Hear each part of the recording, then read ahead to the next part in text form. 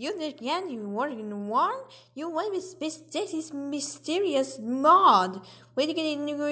you download now. What What is MediaFire? What is it? Fire find?